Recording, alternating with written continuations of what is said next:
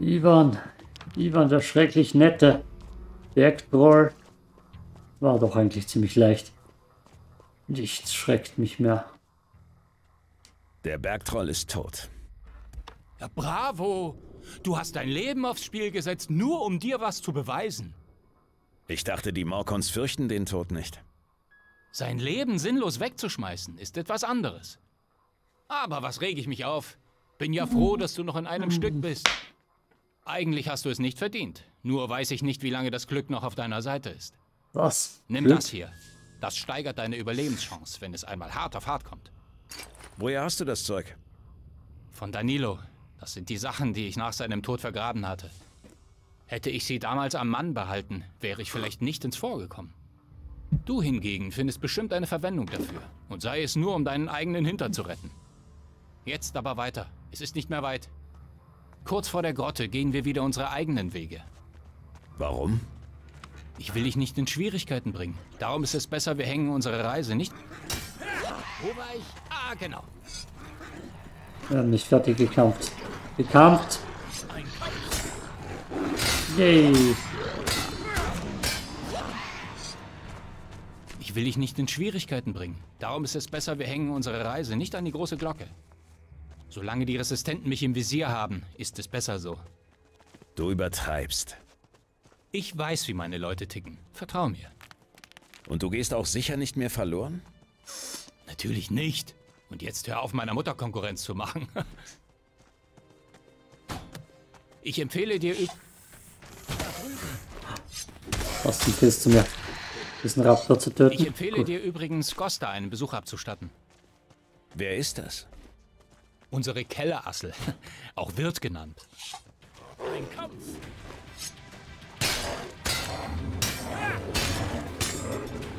Wo war Yep. ich gerade? Ah ja. Was er dir anbietet, schmeckt vielleicht nicht so gut wie das Zeug der Berserker, macht aber satt. Und man kann bei ihm ein paar Splitter verdienen. Wie genau?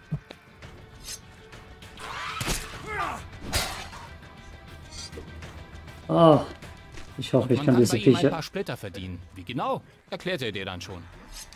Es, du wirst Jetzt ist es unterbrochen. wirklich nicht mehr weit. Wie schnell doch so eine Reise vergeht, wenn man sich in guter Gesellschaft befindet. Hoffentlich schiebt nur Dimitri Wache. Wenn Marat ebenfalls auf Posten ist, führt das immer zu Problemen. Warum?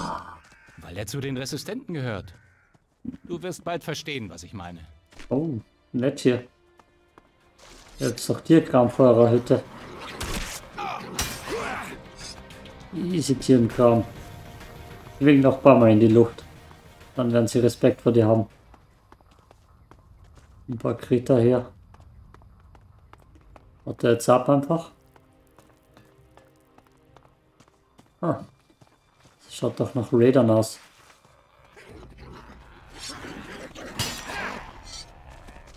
Tschüss, Ivan. Ah, noch nicht. Das ist doch auffällig, wenn du hier noch mit mir redest. Ne, er rennt hier rein. Was sind das für geile Typen?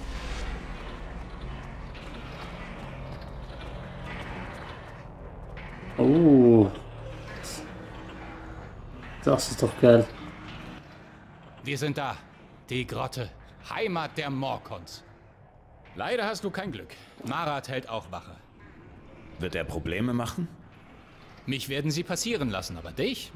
Die Chancen stehen 50 zu 50. Bevor ich mich verabschiede, gibt es noch eine Kleinigkeit, die ich dir nicht verschweigen will. Hör mir jetzt gut zu. Unter den Morkons existiert neben den Resistenten und Abwerbern noch eine andere Gruppe. Sie steht für etwas, das einem Großteil meines Volkes zuwider ist.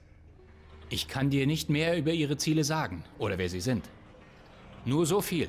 Du wirst sie finden, wenn du für eine gerechte Sache eintrittst. Aber jetzt ist es wirklich Zeit, sich zu verabschieden. Mach's gut, mein Freund. Und wenn du mal ein paar Splitter übrig hast, komm mich ruhig besuchen. Wir sehen uns.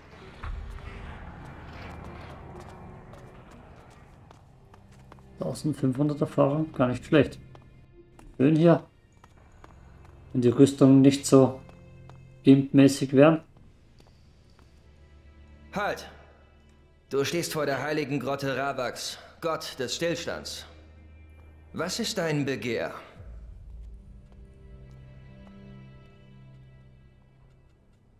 Ich möchte rein.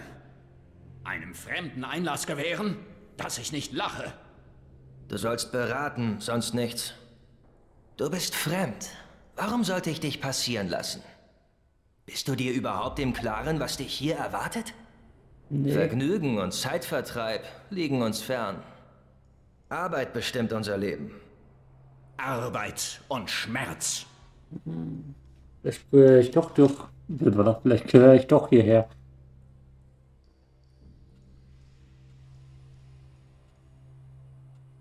Ich scheue keine Arbeit. Deine Worte gelten nichts, bis du sie bewiesen hast. Sei dir bewusst, dass du die Grotte nicht mehr verlassen wirst, wenn uns nicht gefällt, was du tust. Ja, ich gehe, wohin ich will. Das Risiko gehe ich ein. Gut, du kannst passieren.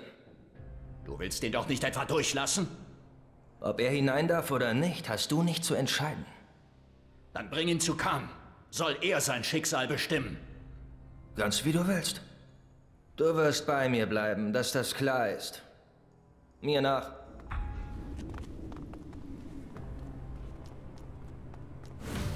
Ui. Ich denke, Marat kann uns jetzt nicht mehr hören. Ich bin diese Streitereien satt. Ich weiß, ich habe Marat gesagt, ich würde dich direkt zu Khan bringen, um sein Urteil abzuholen. Aber scheiß auf Marat. Ich bin übrigens Dimitri. Wenn du wirklich bleiben willst, solltest du ein paar Dinge über uns wissen.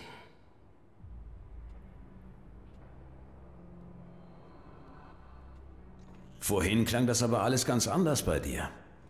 Dafür kannst du dich bei Marat bedanken. Es ist Gesetz, dass immer zwei Leute Wache am Tor halten, um das Gleichgewicht zu wahren. Und wenn ich mich nicht wenigstens ein bisschen wie ein verdammter Resistenter verhalte, kannst du sicher sein, dass Marat mich denunzieren wird. Weil du kein Resistenter bist? Richtig. Aber wenn ich mich nicht wie einer aufführe, dann suchen sie sich jemanden, der es tut. Eins noch.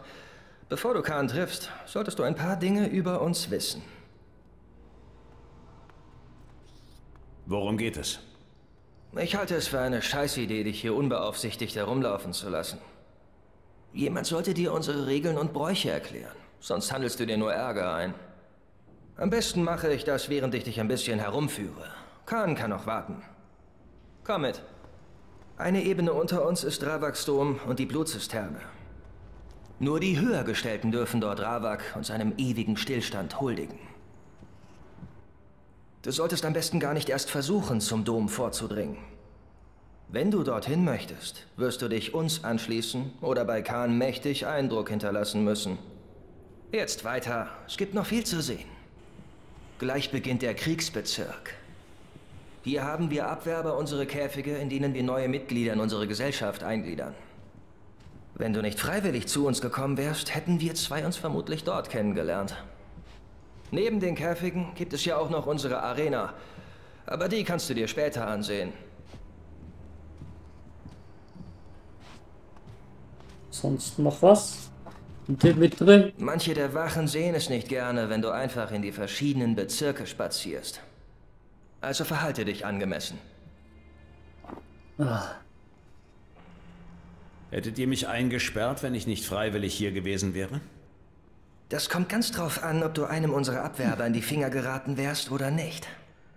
Aber ja, das hätte passieren können. Ich habe früher selbst bei den Käfigen gearbeitet. Komm, ich zeig dir mal meine alte Arbeitsstelle. Als Nicht-Morkon muss dir das ungewöhnlich vorkommen. Kann man so sagen. Wenn eine Arbeitskraft fehlt, ist der Stillstand gefährdet. Dann müssen wir dafür sorgen, dass wir eine neue bekommen.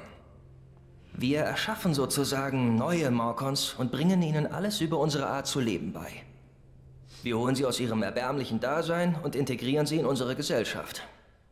Auf dass sie unsere Werte annehmen und als echte Morkons wiedergeboren werden. Aber ich rede zu viel. Was soll das heißen? Waffe runter. Es gibt nichts. Willst wohl Ich doch keinen Ärger, ändern. was? Du weißt besser als jeder andere, dass Gosta nichts zu verschenken hat. Die Stimme, Deswegen habe ich ja auch dich geschickt. die kennen wir doch Er alle. macht keine Ausnahmen, auch bei mir nicht.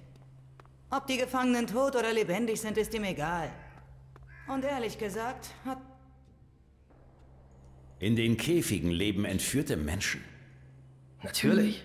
Wo sollen sie auch sonst leben? Viele, die hier ankommen, begreifen nicht, dass wir nur versuchen, sie zu retten. Aber irgendwann verstehen sie es alle. Unser System funktioniert. Es hat Regeln.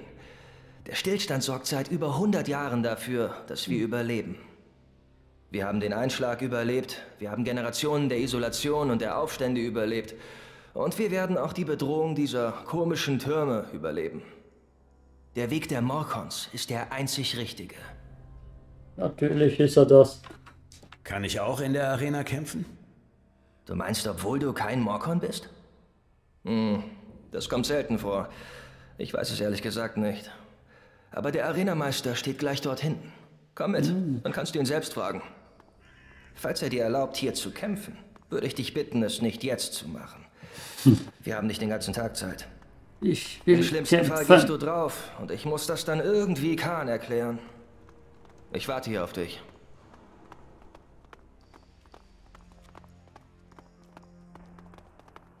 Ah, wo ist die Irre ich Arena? mich oder warst du noch immer nicht in der Arena? Nein, Oh, hier. aber mein Wille ist ungebrochen. Ich will endlich raus. Waffenhändler? dafür?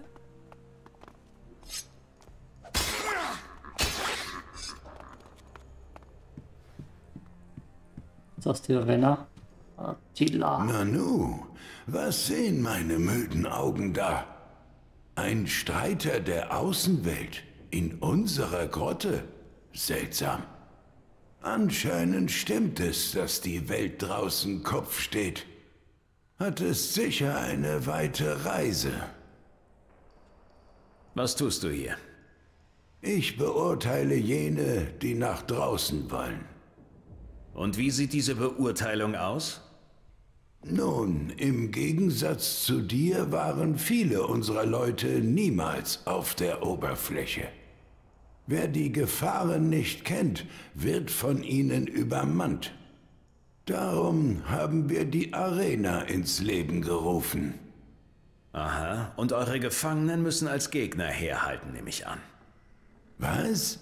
Nein, Bestien. aus ihnen machen wir gehorsame Streiter Ravaks. Die Kreaturen sind unsere Gegner. Nur wer sich gegen sie behauptet, darf die Grotte verlassen. Und wer es nicht schafft? Bleibt hier in Sicherheit, sofern er noch lebt. Wer scheitert, ist meist nicht mehr an einem Stück. Die Frage stellt sich also nur selten. Aber jetzt bin ich an der Reihe. Sag, warum bist du hier? Dimitri hat mir von der Arena erzählt. Anstatt zu erzählen, sollte er Wache halten. Das Privileg, in der Arena anzutreten, wird von mir vergeben. Nur sehe ich keinen Sinn darin, dein Können auf den Prüfstand zu stellen. Du kommst von draußen und kennst bereits die Gefahren. Warum sollte ich dir gestatten zu kämpfen?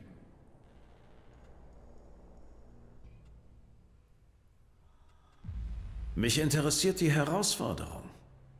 Eine Frage der Ehre also. Hm. Das gefällt einem alten Campen wie mir. Aber ich muss dich enttäuschen. Derzeit sind keine Kämpfe möglich. Uns fehlen die Kreaturen. Für gewöhnlich fangen Venjas Leute die Biester ein.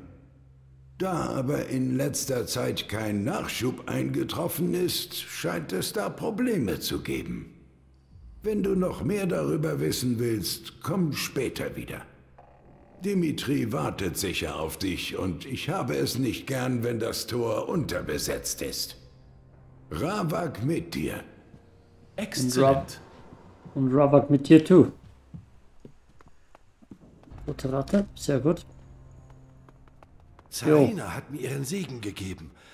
Er raucht Da eine. bist du ja wieder. Können wir weiter? Lass uns weitergehen. Alles klar. Wenn du glaubst, das reicht, dann gute Nacht. Das Viehzeug. Als letztes kommen wir zum Herzstück der Grotte. Bücher? Der Wohnbezirk ist für viele von uns ein heiliger Ort. Ein Ort der Ruhe, der Einkehr und des Trinkens.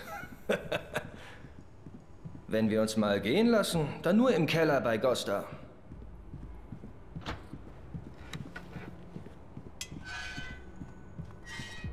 Hey there. Was machst du Ich da? muss arbeiten. Wenn du was von mir willst, komm heute Abend wieder, wenn ich Feierabend hab. Okay. Geiles Teil da oben. Die Maschine meine ich natürlich.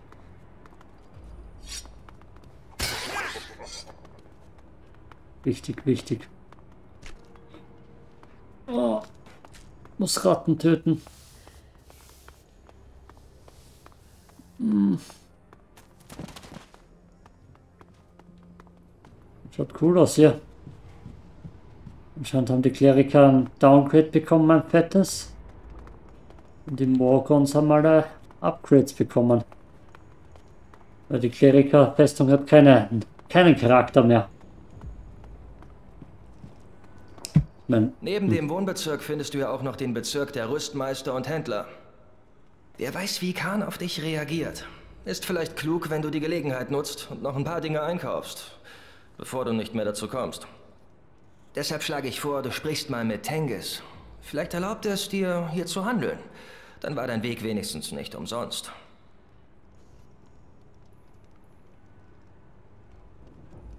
Ich hätte nicht gedacht, dass ihr eine Kneipe habt. Wenn du den Keller meinst, dann sag das besser nicht zu laut. Nicht, dass die Resistenten noch auf die Idee kommen, den Laden dicht zu machen.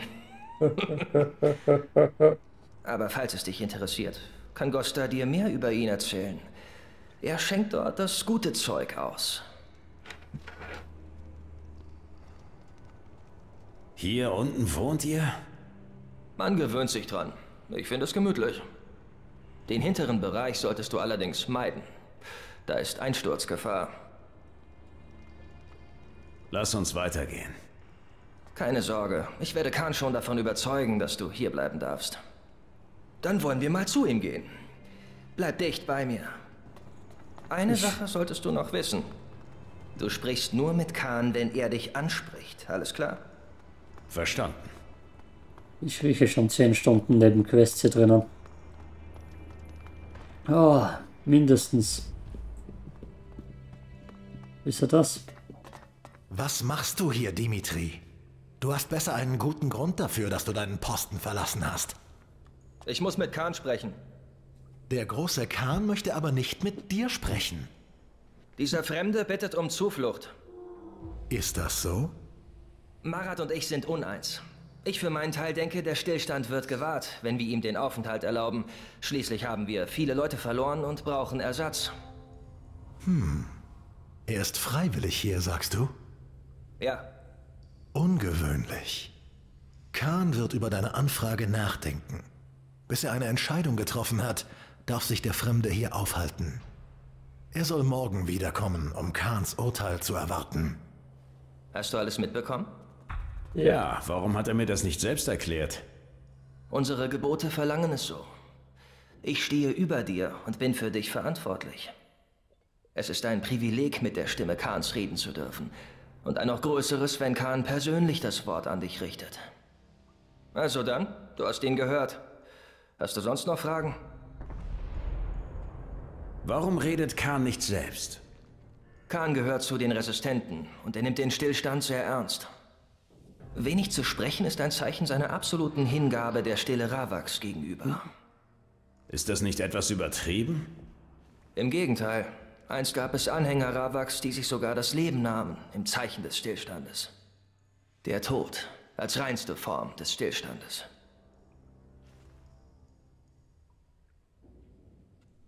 Heißt das, ihr wollt alle sterben? Natürlich nicht. Du musst wissen, es wird von niemandem verlangt, sich so sehr Ravak hinzugeben, wie Khan es macht. Von einem Morkon wird nur erwartet, dass er den Stillstand ehrt. Wenig zu sprechen oder den Stillstand des Todes zu suchen, ist ehrenhaft. Aber wir sind immer noch Menschen, mit freiem Willen. Wenn du es hier allerdings zu etwas bringen willst, musst du schon beweisen, dass du Ravaks Willen auch wirklich vertrittst. Ach, eins noch. Vergiss nicht, ab und zu mal wieder bei Khan vorbeizuschauen. Wenn du es wirklich nicht abwarten kannst, dann könntest du dir vielleicht deine Zeit im Keller vertreiben. Oder du gehst einfach schlafen. Ich beschäftige mich schon. Gut, gut. Dann kann ich dich ja guten Gewissens alleine lassen. Marat wird sich bestimmt schon beschweren. Ich gehe mal lieber zurück. Du findest mich am Tor, falls du mich suchst. Wir sehen uns. Oh, oh gratis Loot. Ventilator. Hey, was machst du da? Stehlen. Was sonst? Deswegen bin ich hier. Wo ist die Arena? Ich bin mir nicht mehr sicher. Aber die Arena-Quest nehmen wir an. Mal schauen, ob die Tante mit mir reden will. Oh. Ich muss arbeiten. Wenn du was von... Nein, will. Hey du, warum rennst du hier herum? Was ist deine Aufgabe?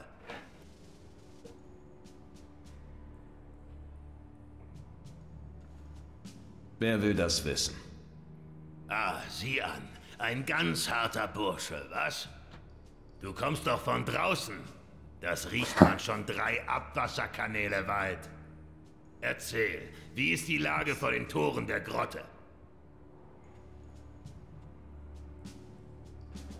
Magalan wird von einem fremden, hochentwickelten Volk angegriffen. Ja, wir haben die dunklen Türme gesehen, die auf einmal erschienen sind. Wir werden uns darum kümmern, sobald die Zeit gekommen ist.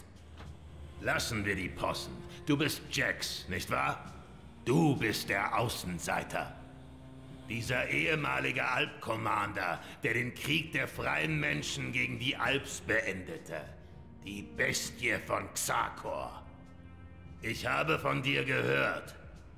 Wenn du das weißt, warum duldest du dann meine Anwesenheit hier?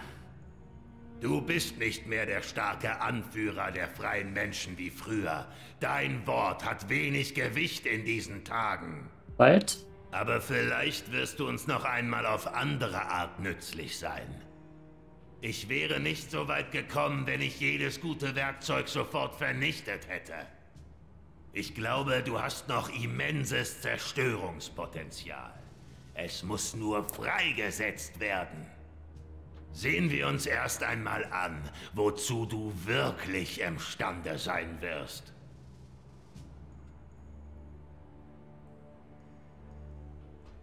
Wusstest du, dass einige Morkons am Weltenherz im Westen Berserker abgeschlachtet und geplündert haben? Ach ja? Du redest doch sicher von Dragan und seiner Bande. Vergiss ihn. Er ist ein Ungläubiger und hat immer nur seinen Profit im Sinn. Genauso wie seine Gruppe von Speichelleckern, die er um sich schart. Irgendwann gerät er einmal an den Falschen. Das würde hier niemanden verwundern, noch wirklich interessieren. Wenn du schlau bist, wofür ich dich halte, dann machst du das genauso. Ich weiß, wen du meinst. Der stellt kein Problem mehr dar. Aus der Stille sind wir entsprungen, und zu Stille sollen wir wieder werden. Du bist Patriarch der Morkons? Ich bin Viktor. Große Titel sind wie Kanaldreck im Schuhprofil. Bist du einmal reingetreten, dann haftet er dir an. Wir sind nicht hier, um bleibende Eindrücke im Dreck dieser Erde zu hinterlassen. Wir haben dafür zu sorgen, dass die ewige Stille wieder einkehrt. Vergiss das nicht. Du rüstest auf für eine größere Auseinandersetzung? Wir haben unsere göttliche Mission zu erfüllen. Wir müssen all unsere Anstrengungen darauf konzentrieren, unsere Streitkraft und unser Zerstörungspotenzial zu erhöhen. Wer sich dazu zu schwach fühlt, kann sich direkt von unseren Peinigern einäschern lassen.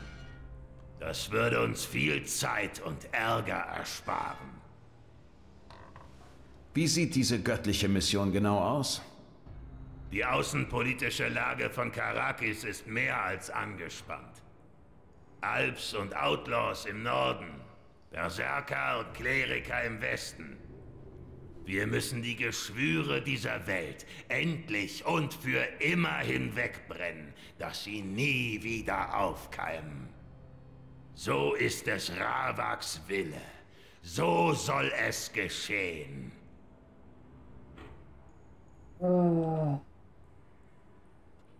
Was werdet ihr gegen die fremden Eindringlinge mit ihren Kreaturen unternehmen? Die dunklen Türme, die in Karakis niederkamen, sind ein Zeichen.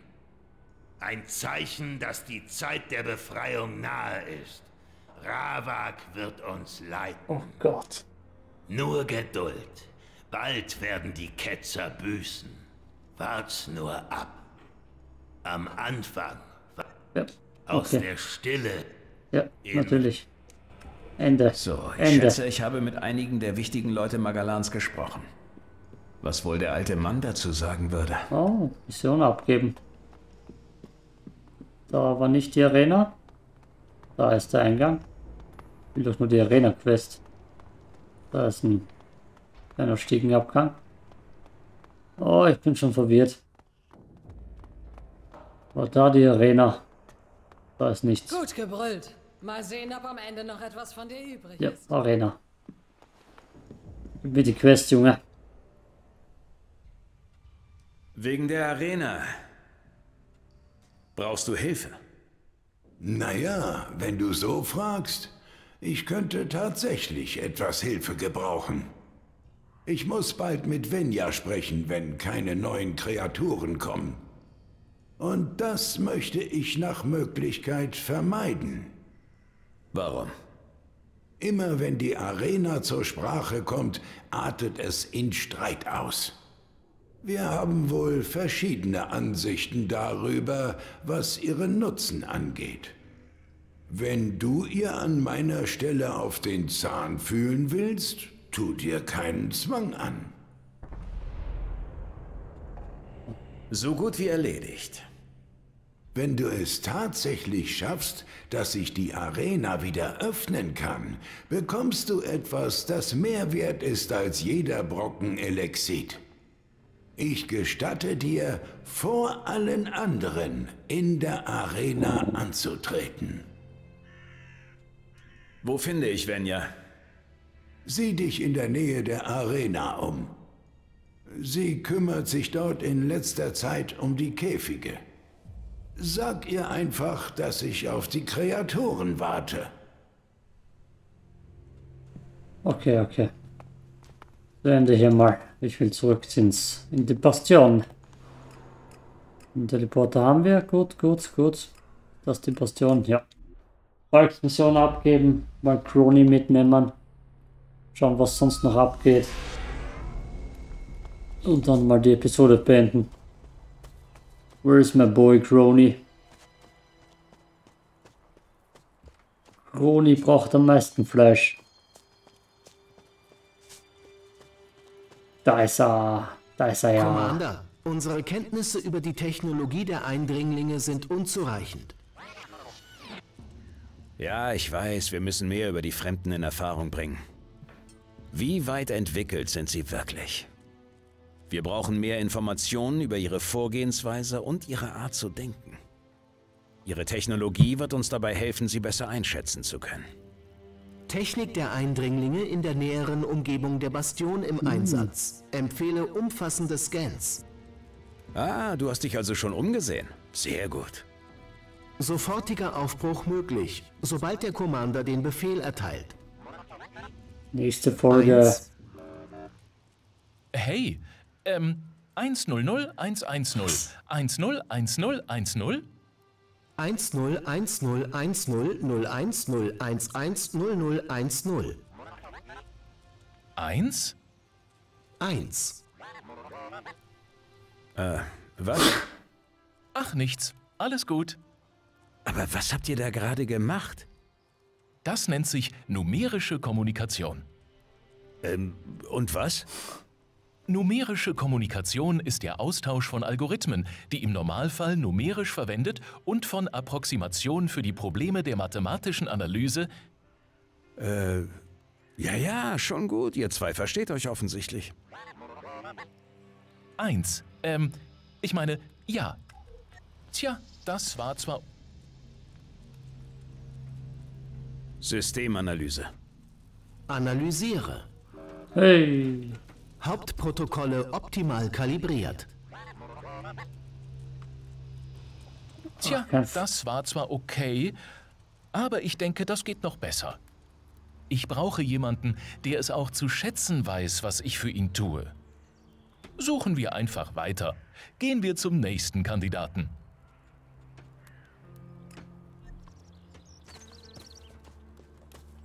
What does the fox say?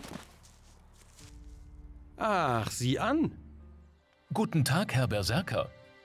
Bist du nicht dieser Cyborg aus der Burg der Kleriker? Ja, richtig. Ich wollte... Ja, wollte ich auch. Ähm, tatsächlich? Ja, sicher. Jederzeit. Wir Sonderlinge müssen doch zusammenhalten. Sonderlinge? Nein, ich hatte eigentlich... Aber sicher doch. Jederzeit. Brauchst nur zu fragen. Ähm, nun ja, dann... Nur keine Hemmungen. Immer raus damit. Ich wollte nur... Ich weiß, ich verstehe das. Nur weiter so. Ja? Natürlich, du machst das großartig. So, und jetzt habe ich zu tun. Aber nicht vergessen, jederzeit. Ähm, ja, sicher. Schönen Tag noch. So sieht's aus. Oh. Tja, das war zwar okay, aber ich denke, das geht noch besser. Ah. Was ist hier los? Was geht hier ab? Mann, Mann, Mann. Worauf habe ich mich da bloß eingelassen? Yep. Äh, ja? Was gibt es? Werter Herr Feldherr, ich habe eine Mitteilung zu machen. Mit diesem Stück Fleisch möchte ich meine Ehrerbietung erweisen. Du leistest einen großen Beitrag zu unserer Gemeinschaft. Nimm dies als Dank von mir. Ach, so. Ja, nun dann, danke. Gern geschehen. Und weiterhin noch einen schönen Tag. Hey, Moment mal. Was hast du ausgefressen? Ähm, wie bitte? Du machst das doch nicht einfach so zum Spaß. Also raus mit der Sprache. Was hast du verbrochen? Ich habe... Äh, nein, ich wollte... Schon okay. Es ist nur ein gesellschaftliches Experiment für einen Cyborg. Aha. Na dann, was auch immer. Weitermachen. Ist notiert. Das war ja ganz einfach. Gleich noch einmal. Aber bei einem guten Kandidaten, wenn es keine Umstände macht. Wenn es dir hilft. Ronny, hey. Ah, ich glaube, ich muss Frank besser behandeln. oh. Hopp, darüber. Wer ist denn da drüben überhaupt? Haben wir da überhaupt Leute? Wer ist der Typ? Kenn ich dich? Rolf. Hey, Hallo, was denn? du bist Jäger, richtig? Ich wüsste nicht, was dich das angeht. Ähm, nein, das ist richtig. Aber ich hätte hier... Ey, bevor du weiterredest. Ich habe zu tun und du störst mich dabei. Also, geh wieder und verscheuch mir nicht das ganze Wild. Oh, ich wollte eigentlich nicht stören. Ich wollte nur... Du störst aber, also hau ab. Ja, äh, ich hätte da nur... Verschwinde. Ähm, na gut. Tja, Hm, Das verschlägt selbst einem Cyborg die Sprache. ich werde das jetzt nicht weiter kommentieren. Lass uns lieber einen besseren Kandidaten suchen. Die gibt es nicht. Hallo. Ja, hallo. Du bist Jäger, richtig? Und du bist ein Kleriker. Ja, ich habe hier ein Stück Fleisch für dich. Mmm, rohes Fleisch? Das kann ich immer gebrauchen. Wie viel hast du denn? Einige. Was willst du dafür haben? Ich will gar nichts dafür. Es ist mehr dafür gedacht, dir zu helfen. Ah, sehr gut. Dann gib mal her. Ich werde es später weiterverarbeiten. Aber Moment, du kommst nachher nicht angewackelt und willst doch noch was dafür haben, oder? Das Letzte, was ich gebrauchen kann, ist irgendein Kerl von oben, dem ich einen Gefallen schuldig bin. Ähm, nein, nein, ich, ähm... Dann ist ja gut. Vielen Dank. Ja, ähm, gern geschehen. Ist notiert. Bist du jetzt fertig mit deinem Experiment, menschlicher zu werden? Ich denke, ich habe jetzt erst einmal genug Daten gesammelt. Vielen Dank für deine Hilfe. Wie sieht's denn aus mit deinem Fortschritt? Ihr Menschen würdet sagen, eher durchwachsen. Es gibt für mich bisher keinerlei Regel, nach der ich jetzt voraussagen könnte, wer von den Kandidaten positiv auf mein Geschenk reagiert und wer nicht.